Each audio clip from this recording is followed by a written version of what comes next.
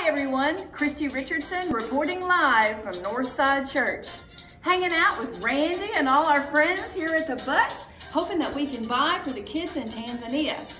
Our report, to date, we have raised $640.08. Yeah! We only have around $360 to go, so keep bringing in that money so we can buy that bus And color that!